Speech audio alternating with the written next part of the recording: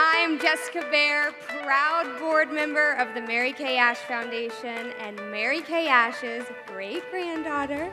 The Mary Kay Ash Charitable Foundation was created to harness the incredible power of the Mary Kay Independent Sales Force, along with Mary Kay employees to find a cure for cancers affecting women. We are now in year number three of the Mary Kay Ash International Postdoctoral Cancer Research Fellowship in partnership with the University of Texas Southwestern Medical Center right here in Dallas.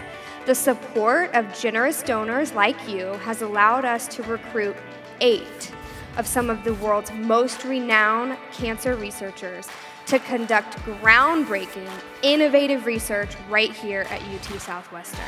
And by the way, seven out of these eight researchers are women.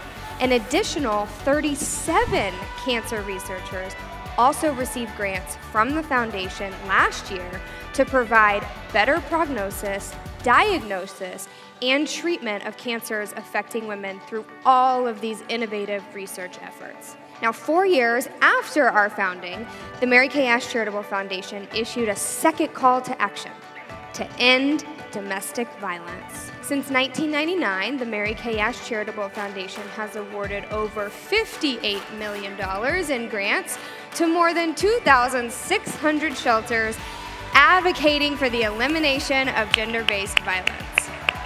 Now, the foundation has supported more than 6 million women and girls seeking shelter and services to build new lives that are free from violence. In 2021, more than 191,000 women, children, and men received domestic violence related services through shelters that we have supported through your fundraising efforts. From woman to woman, we are delivering hope through the Mary Kay Ash Charitable Foundation.